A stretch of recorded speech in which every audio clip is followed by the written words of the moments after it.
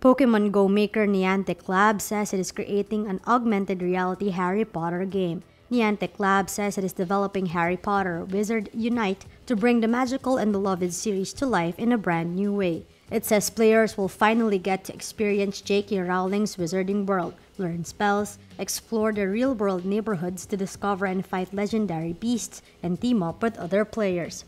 Pokemon Go was a huge hit upon release. It's been downloaded 100 million times and earned $10 million in daily revenues on its first month in North America and Australia.